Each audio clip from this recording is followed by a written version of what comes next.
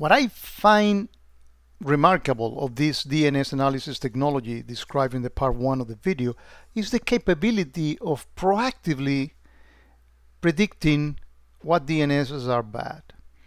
And what I mean by that, I mean, the, the, the engine, the stream and SPSS engine running on this VM is actually analyzing all that uh, live PCAP. It's, it's, it's, a very good sample of data and uh, that, that real malicious DNS traffic that we replay there. And the algorithm is picking up anomalies.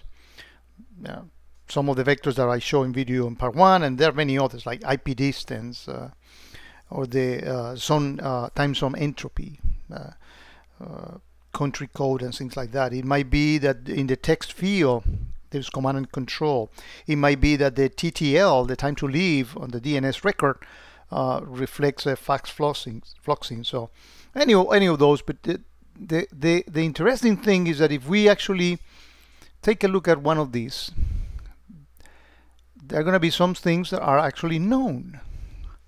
This is actually a very well-known uh, Brazilian uh, malicious site. So if we copy that one and we go to the X-Force portal and we paste this one into the X-Force, that one here, and we hit enter, X-Force most likely, yep, it finds it actually a very high risk. Uh, this is a very well-known actor. But if we go back to the DNSs and pick up anyone else, uh, take the first one for example. As you see, these uh, Zinzuzu, what, I don't know, actually, I, IDN2 fishes, I mean, come on. this is obviously a DNS design uh, and crafted or created or registered for, uh, for a particular attack. And if we go there, it might be that it hasn't been used. And so let's actually go and do a search on it on the on the X-Force. So if we actually paste that domain here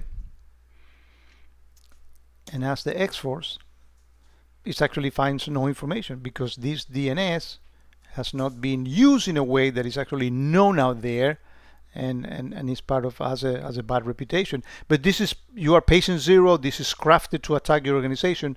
This technology can actually detect those anomalies on the DNS uh, actual traffic and you get uh, offenses in QRadar that alert you about those possible attacks and then you can do proactive things like well the IPS associated with that uh, with that uh, particular uh, DNS type of traffic, block it in my IPS. As we have shown in other videos, we can you can tell the, the XGS IPS, the Palo Alto, Cisco's, you can tell them automatically from QRadar, go ahead and proactively block that. You don't need to go have any manually uh, doing so. And the reason why this is so important to do is that the bad guys are not going to be, I mean, the preparation phase of the attack can take months.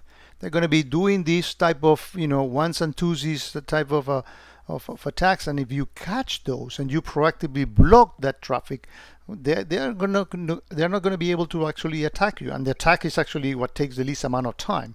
But the preparation phase is when you want to have a technology like QRadar finding those anomalies letting you proactively to work against them